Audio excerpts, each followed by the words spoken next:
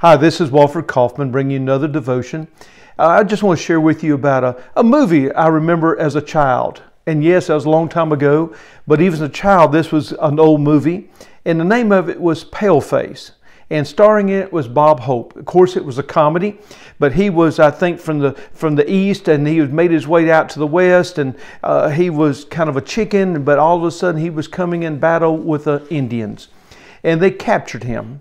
And for what I remember about the movie, they were going to kill him by tying him in between two trees. And this is how they did it. They, they bent one tree over and they tied one leg to that, and they bent another tree over and tied one leg to that.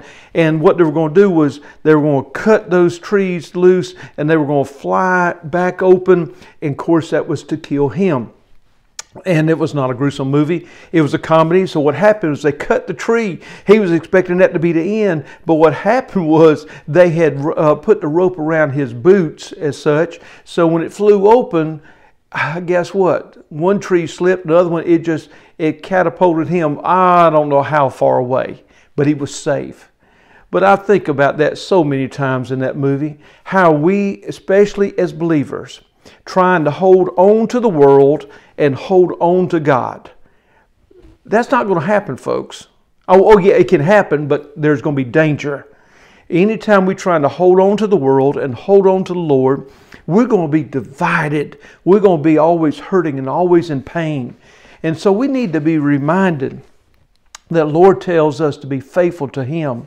In 2 Corinthians, the fifth chapter, we see here in verse 9 starting, So we make it our goal to please Him, whether we are at home in the body or away from it.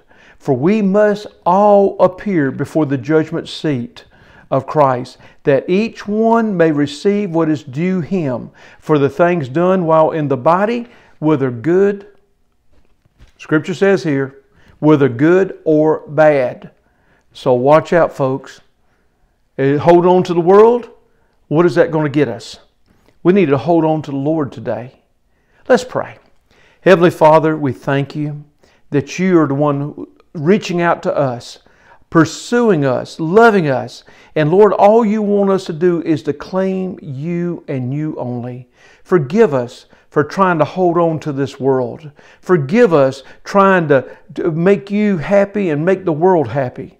Lord, you're for us for eternity, and we want you to be number one in our hearts. Lord, forgive us, and Lord, us now, right now, start getting, getting our lives straight and start serving you with all that we are.